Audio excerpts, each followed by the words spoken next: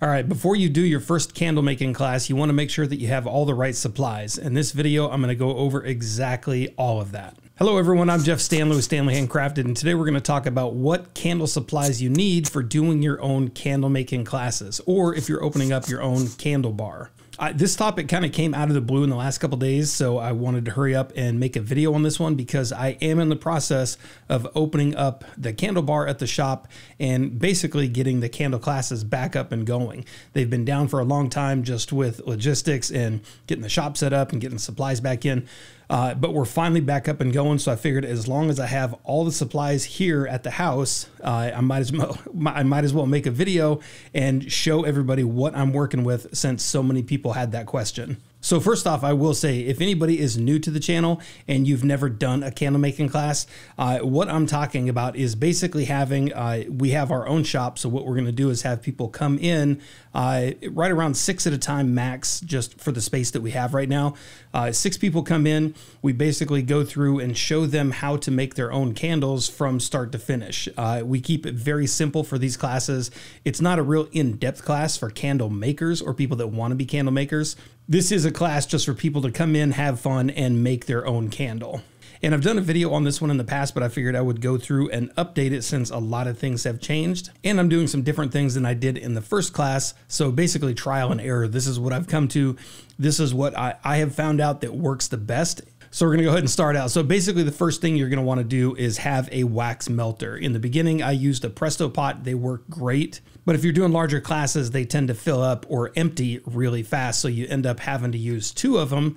But depending on where you are, running two Presto pots at the same time may not work. Uh, I know a lot of the venues I did in the beginning just couldn't support two of those Presto pots running at the same time. So it would always trip the breaker, the power strips.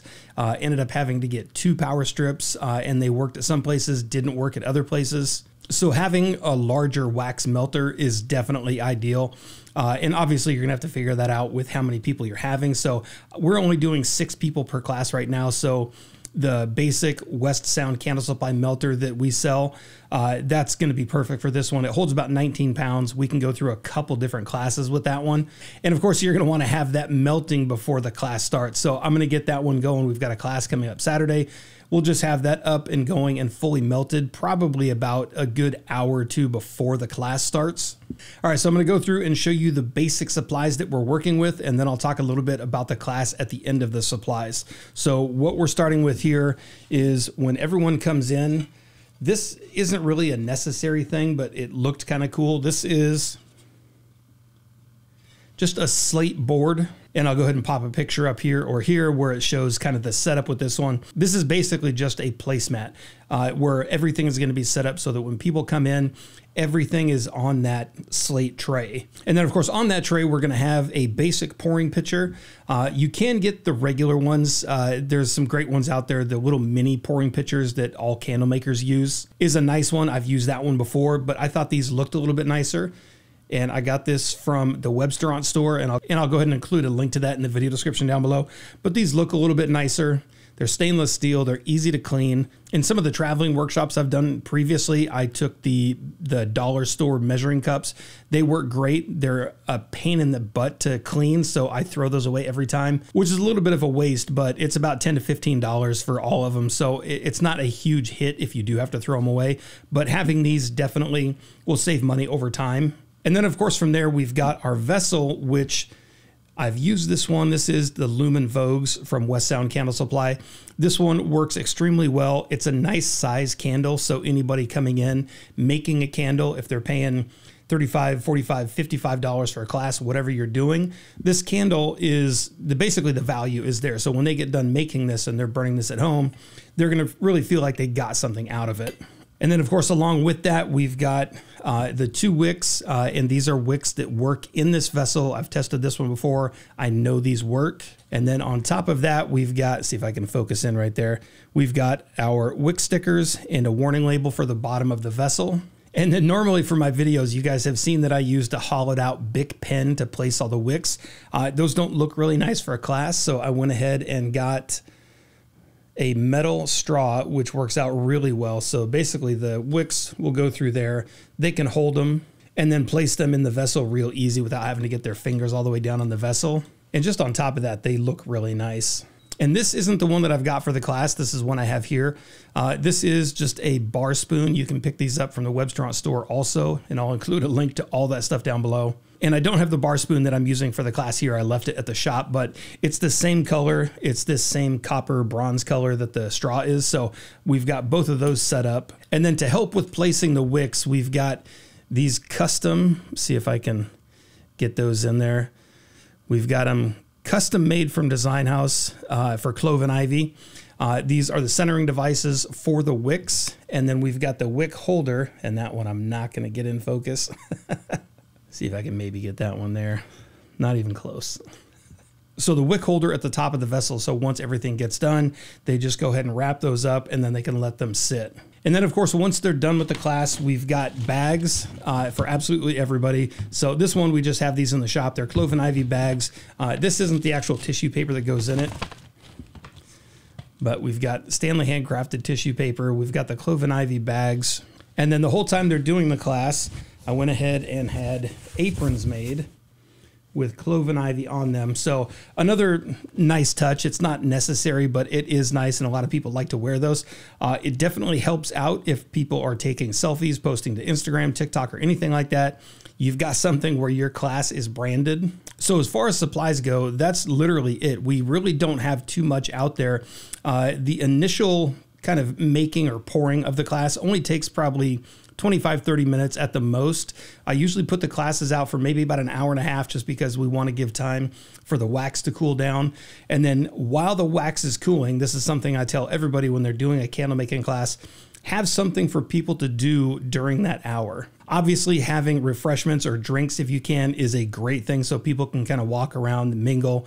Uh, we have the luxury of having our own shop, so hopefully, people will wander around in the shop uh, and look at the things that we actually have in the shop for sale. So they can do that. And then the other thing that we typically have people do is do something creative with their labels. So we'll have something there and it basically turns into an arts and crafts session. So I've got stamps, I've got scissors, I've got, I've got cutouts. And I encourage people to spend probably the next 10, 15 minutes just going through and kind of creating your own labels or just grabbing a marker and writing the scent name or your name or anything you want on the label. And then for some classes, uh, and then for some classes, I have a second activity, something that can usually take a half hour to 45 minutes, something again, basically a second activity for people to do while their candle is hardening and curing. Another very quick and easy one is sugar scrubs. It doesn't take too much to put those together. Uh, they can make them in about 10 to 15, maybe 20 minutes, uh, and you can get some vessels or some little kind of makeup trays that fit that stuff perfect. And then when it comes time to do the classes, I learned this over time.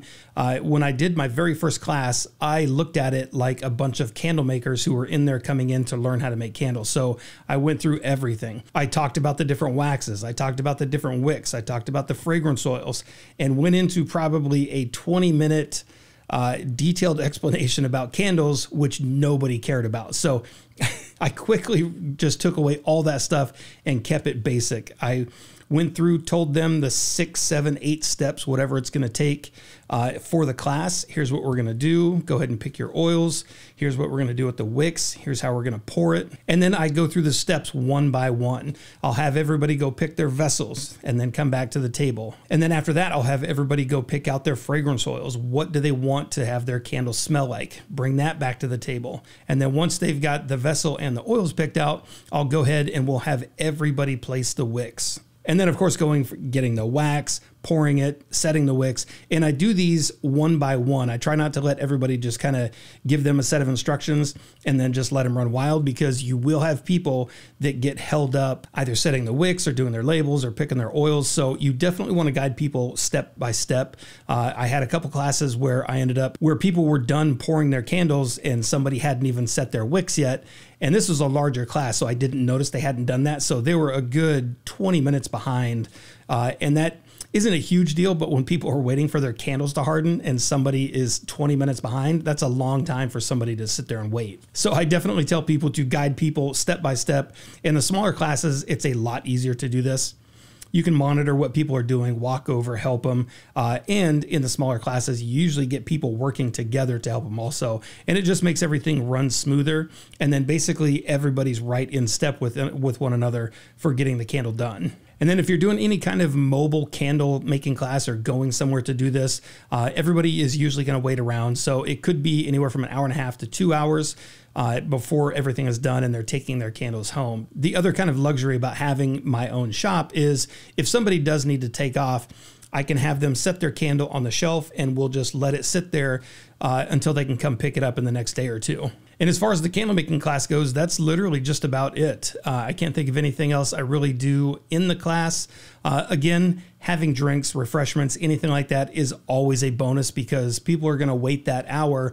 Uh, some people may blast through uh, creating their labels in two minutes and then they've got another 58 minutes to wait for their candles. So, having anything that they can do, uh, eat, drink, anything like that, or shop around is always a bonus for you. So I hope that was helpful for anybody that has a candle class coming up. I know I've been talking to a lot of people in the, in the last week or two who do have candle classes coming up. So I tried to answer every question that I was getting from them and even some of the ones that I thought of when I was again making my own candle classes. But if I did miss something, please let me know what it was in the comment section down below and I'll go through and try to do a follow-up video.